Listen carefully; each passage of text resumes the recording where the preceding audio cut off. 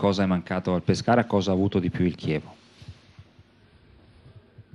A noi mancava un po' di tutto, nel senso che siamo una squadra che sta ultima e per cercare di tirarsi su dobbiamo essere più vogliosi, aggressivi e cercando, cercando di mettere in difficoltà l'avversario.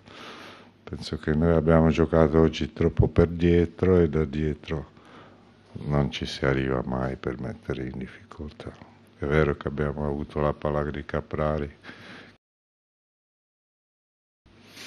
era una cosa spor- sporadica. È stato difficile anche per il Pescara giocare contro questo Chievo oppure meriti vostri?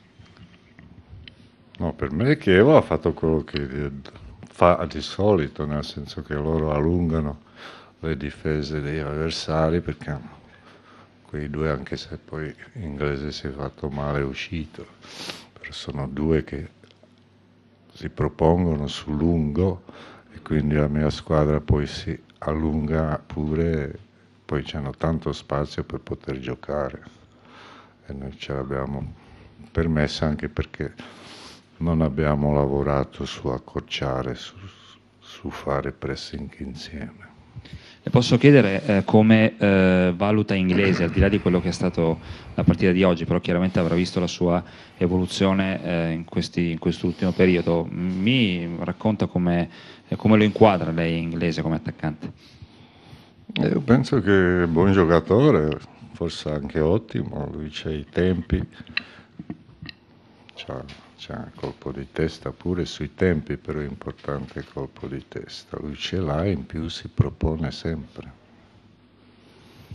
Le faccio l'ultima eh, per quanto mi riguarda. Eh, è cambiato poco eh, lì in fondo, eh, è cambiato poco anche per voi, c'è una partita però in meno, questo cambia un po' la vostra prospettiva, insomma non cambia nulla fondamentalmente. Ma non cambia nulla, è, una, è un'occasione sprecata in più.